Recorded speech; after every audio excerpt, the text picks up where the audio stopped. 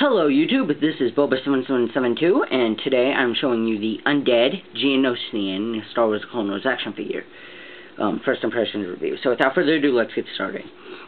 I'll start by going over the box. Okay, this has got to be the coolest box picture ever. His eyes are cri criffin glowing, and that's a Star Wars uh, term.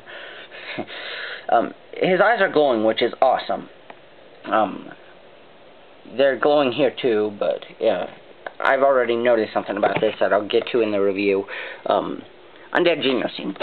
Um, it shows a nice picture, and the back of the box reads, Undead Geonosian warriors lurk in the vast underground hive.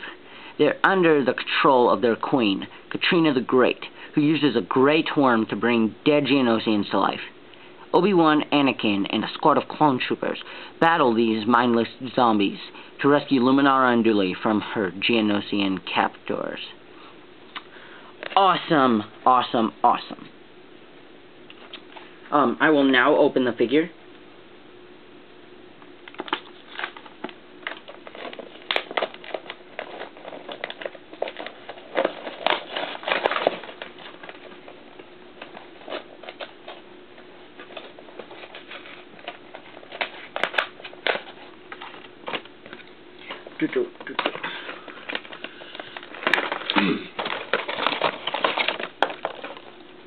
Okay, it comes with uh, one of these things, which I have a million of. I'm not going to go over that.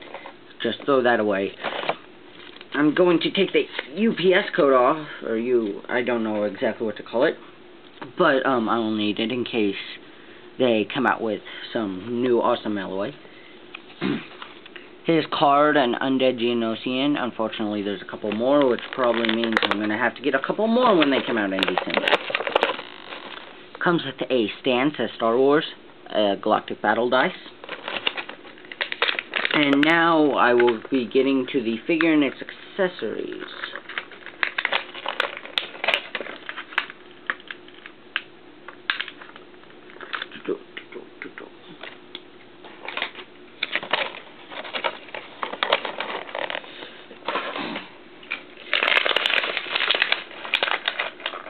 This is a bit difficult to get out, so just bear with me for a second.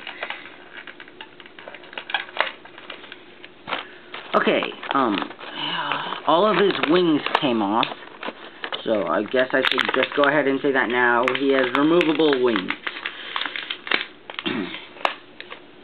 also, as you might have seen on the box, or, um, something, he also, oh, great, this thing came off, one sec. Okay, he can wear this thing around his neck, which shows this red, uh, dot. But then you can take it off, and it's pretty much there without the things. He also has, um, this to go on his back. Um, I guess the wings didn't fall off to put the wings on. Um, he has removable body limbs. But, um, before I go over that, I will go over, and the arm came off. I will go over the articulation. Um, with this arm since he's holding the other one. The, a gun with the other one. Okay, uh, this one is pretty much ball jointed. Uh, rotates around 360 degrees. This arm is, um, can move, um, like this. The elbow can move, and then, um, rotate around 360 degrees, and then the hands can rotate around 360 degrees. The head, ball jointed head, which fell off, can rotate around 360 degrees. The legs, ball jointed, uh, can go forward uh, pretty much 360 degrees if you want them to. Uh, thing's still on its leg. The waist rotates around 360 degrees. I guess I should put that there.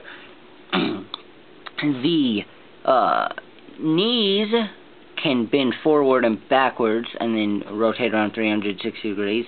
And then the feet can um, move as so. Uh, I guess up and down and then rotate around 360 degrees. So I will attempt to put the accessories on this figure, probably with no luck, since it is very difficult to get the accessories on. Uh, I don't get why they made this such a, a figure for kids to play with if what it does is really just, um, how do I put this? Um, it, the parts don't sound well at all. Um, that I guess that's part of the play feature, but I wish that the legs would, uh, the legs, arms, wings, everything would stand a little better. One second, I almost have the last wing. And that one fell off great. Uh, I guess it's easier to put the wings on.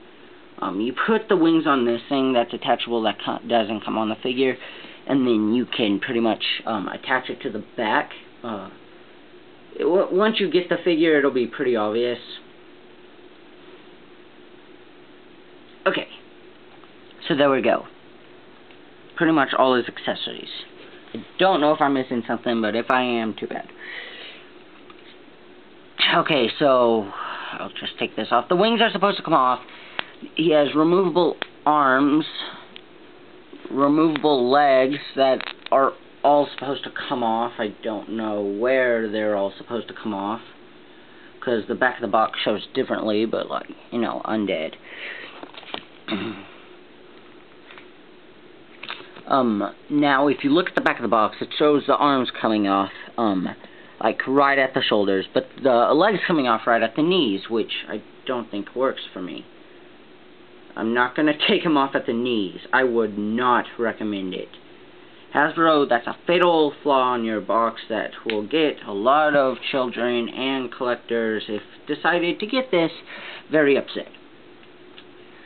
So, okay, um, I would rate this, oh god, I, if you're a kid, um, and, okay, let me rephrase this, if you like to, um, play with your figures, um, this is pretty cool, it's got some cool play features. If you want to collect it, um, you know, uh, I, I would not recommend getting this. They're coming out with a good Geonosian and hopefully another sculpt, but uh, an actual living one, um, later, um, next year, uh, Hasbro has confirmed on a, um, some vehicle with, um, just like the Boyle pack just came out, like this, um, so yeah, um, okay, but there is an awesome feature on it, which I wish I would have come with one of these loose, but um, I know you can't see it so well, but there is a worm hanging out of his mouth. Um, uh, kind of another flaw, Hasbro. It goes through the nose. I know that it went through the mouth in the episode, but it's supposed to go through the nose. Even if it does go through the mouth, I I I don't know how to say this. Um, but yeah, if you're a collector, if you're a kid, pretty much I would recommend getting it if you find it, because these things are pretty cool to play with. But if you're a collector, uh, I I would not. I would give it like a three out of five, uh, two out of five even maybe. I don't know. It's it has awesome detail, but it's just parts fall off too easily. So yeah, that's my review.